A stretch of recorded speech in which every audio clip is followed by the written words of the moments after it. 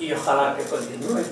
Sin duda. Porque indudablemente, y gracias a la televisión, las, las películas que voy a tratar de, de combinar mis conciertos en persona con alguna que otra película, siempre y cuando el guion sea muy bueno, pues como eran estos guiones que eran pues, de Antonio Gala, que eran cine, que uno se sentía orgulloso de haberlo hecho. Sin duda alguna, has dicho el nombre de... Perdón, yo soy un fanático del cine español.